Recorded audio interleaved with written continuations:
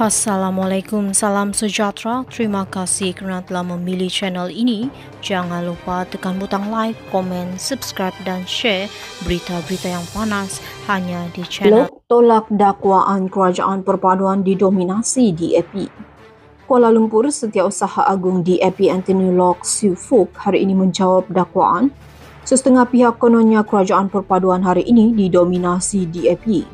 Lok yang juga timbalan pengurusi perikatan Pakatan Harapan PH berkata kerajaan perpaduan didokong oleh 148 ahli parlimen dan majoriti daripada mereka ialah ahli parlimen beragama Islam serta bumi putra. Untuk mematahkan hujah, ada pihak menyatakan bahawa pada hari ini oleh kerana kerajaan di terbabit dalam DAP, maka kerajaan ini didominasi DAP. Biar fakta berbicara.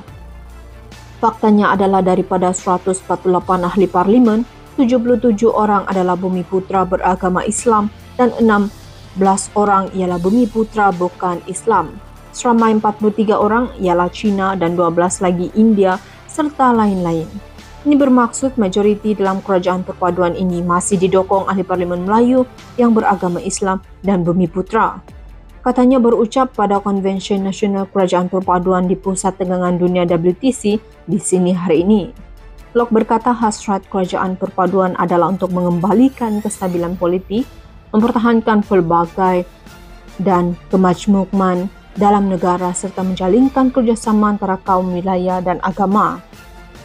Jadi pada hari ini kita bukannya zero sum game, kelebihan untuk satu pihak.